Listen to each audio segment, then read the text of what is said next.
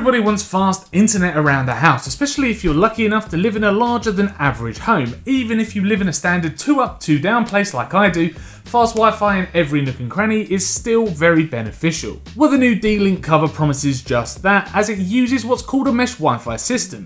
D-Link are claiming that their new COVR AC2200 will give you complete home coverage all of the time, and we've certainly found that to be true. So the box has been branded beautifully with enough style to really make it stand out if seen in a retail outlet. Now there's enough information on the box to give you a good idea of what you're getting. So setup is relatively painless as well, there's just a lot of waiting around watching blue circles fill up to 100% while it connects to various parts of your home. The unit we were sent, the A2200, came with two units, one sender and one receiver, both with WPS buttons for easy connection to devices without screens, like security cameras. So to set up, you will need to download the D-Link app onto your Android or iOS device. The app will prompt you to scan the QR code that's provided on a card in the box. Now from here, you follow on-screen instructions for things like setting up a network name and strong password.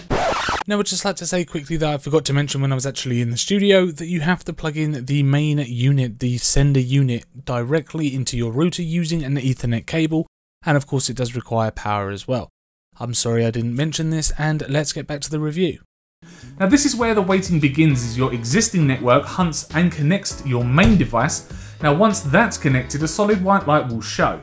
Now once your main network is set, you plug in your second receiver unit and follow the on-screen instructions again on your phone to connect the receiver to the actual sender.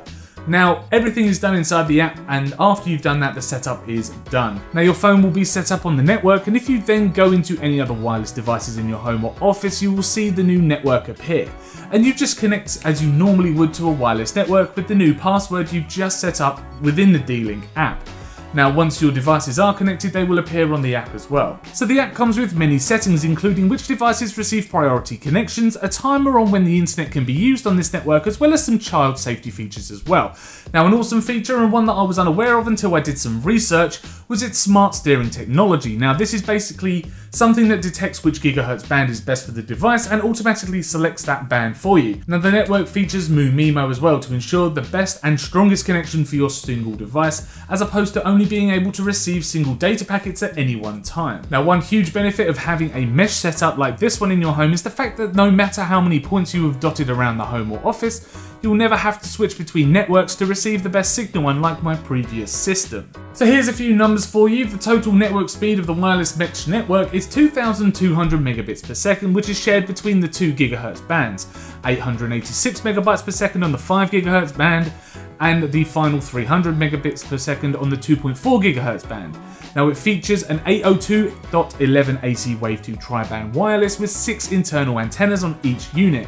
Now tri-band means that there are your usual wireless signals as well as one separate 5GHz band that the two units use to talk to one another. Now previously to installing the D-Link COVR mesh network I was using a very basic repeater box that I purchased from eBay for around £10. It worked alright, I can't really say it's bad but you have to check out these numbers that I'll put on screen.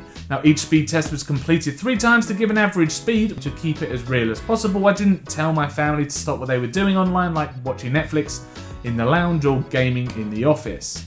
So it's really a no-brainer that speeds would improve across the board. It's a far superior product compared to the Asus repeater that I was using previously. However, the signal that both my phone and laptop received was much better with the D-Link COVR mesh network.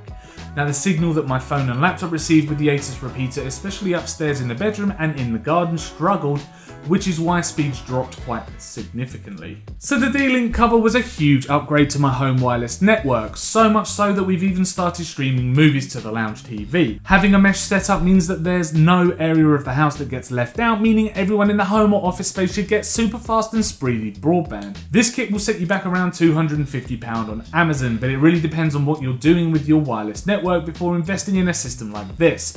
Are you streaming movies from your NAS drive at the same time as gaming online, or do you just use the internet to browse Facebook and buy things from eBay? So thank you very much for checking out our video review of the D-Link COVR mesh network. If you enjoyed this video, then do click that like button.